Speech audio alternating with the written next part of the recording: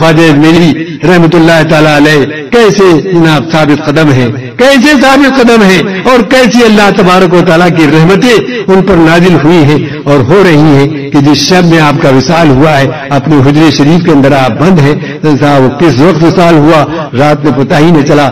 صبح کو جب دیر ہو گئی اور آپ کے نہ اٹھے تو دروازہ توڑا گیا ہے اور دروازہ کھول کر دیکھا گیا ہے۔ تو آپ اللہ کو واصل ہو چکے تھے۔ اللہ سے کے بارگاہ میں حاضر ہو چکے تھے اور آپ کی پیشانی مبارک پر لکھا ہوا تھا کہ ماتا حبیب اللہ فی حب اللہ، ماتا حبیب اللہ فی حب اللہ، کہ اللہ کا حبیب جو تھا، اللہ کی محبت پر ختم ہو گیا۔